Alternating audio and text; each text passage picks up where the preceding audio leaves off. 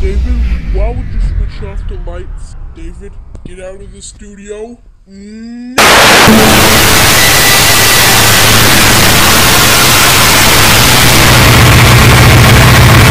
sexy baby, you're grounded for infinity years, put in room right, right now!